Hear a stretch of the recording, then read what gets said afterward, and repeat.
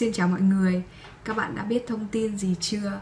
Tại sự kiện Apple Time Five 2020 vừa qua thì iOS 14 đã chính thức được phát hành rộng rãi à, đến các điện thoại iPhone được hỗ trợ.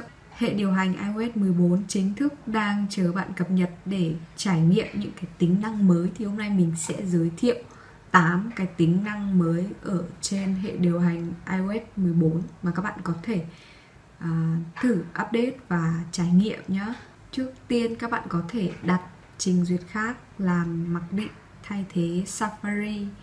iOS 14 sẽ cho phép bạn thiết lập cái trình duyệt web khác ngoài Safari làm trình duyệt mặc định và thay thế cái ứng dụng gửi thư điện tử mặc định bằng một ứng dụng khác không phải của Apple các bạn vào cài đặt Chrome ứng dụng trình duyệt mặc định và chọn Chrome cái app library mới trên iOS 14 chứa các widget màn hình chính và các ứng dụng vào trong một thư mục thay thế cho giao diện trang ứng dụng.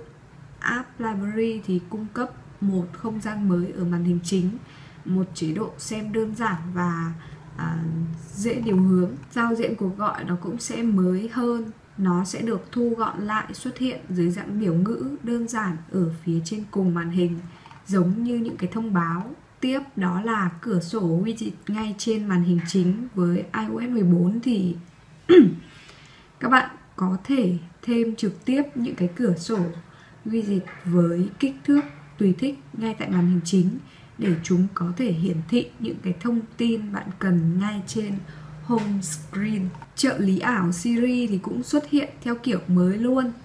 Siri sẽ có sự xuất hiện trên màn hình hoàn toàn khác. Khi được yêu cầu thì Siri sẽ xuất hiện ở phía dưới màn hình thay vì chiếm cả màn hình như trước thì à, các câu trả lời sẽ xuất hiện ở phía trên. Ở iOS 14 thì các bạn có thể úp điện thoại xuống gõ lên lưng iPhone để có thể chụp màn hình ở cái thao tác này thì các bạn có thể chụp được ảnh màn hình này tăng giảm âm lượng uh, nhưng mà yêu cầu dòng máy từ iPhone X trở lên thì chúng ta sẽ sử dụng được.